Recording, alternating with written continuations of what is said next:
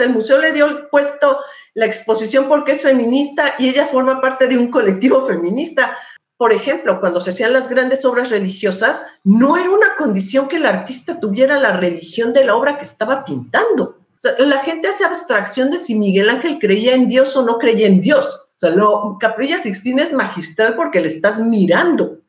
Punto. O sea, no se la dieron por sus creencias religiosas, se la dieron porque era un genio